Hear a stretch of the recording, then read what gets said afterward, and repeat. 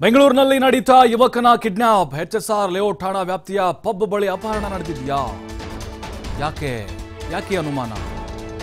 ನಿನ್ನೆ ತಡರಾತ್ರಿ ಹನ್ನೆರಡು ಗಂಟೆ ಸುಮಾರಿಗೆ ನಡೆದಂತಹ ಘಟನೆ ಇದು. ಜೋರಾಗಿ ಕೂಗಿಕೊಂಡ್ರು ಬಿಡದೆ ಕಾರಿನಲ್ಲಿ ಹೊತ್ತೊಯ್ದಿದ್ದಾರೆ ಯುವಕರು. ಹಣಕಾಸು ವಿಚಾರದಲ್ಲಿ ಗಲಾಟೆ ನಡೆದು ಕಿಡ್ನ್ಯಾಪ್ ಮಾಡಿರುವಂತಹ ಬಗ್ಗೆ ಮಾಹಿತಿ ಇದೆ.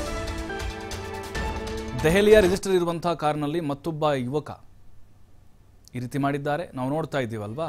ಹನ್ನೆರಡು ಗಂಟೆ ಟೈಮು. ಡೆಲ್ಲಿ ರಿಜಿಸ್ಟರ್ ಇದೆ.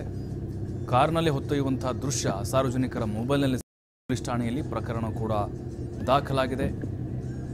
ಇನ್ನು ಅದ್ರ ಬಗ್ಗೆ ಬೆಂಗಳೂರು ಪೊಲೀಸರಿಗೂ ಕೂಡ ಟ್ವೀಟ್ ಮಾಡಿದ್ದಾರೆ. ಅಂದರೆ ಶೇರ್ ಮಾಡಿದ್ದಾರೆ.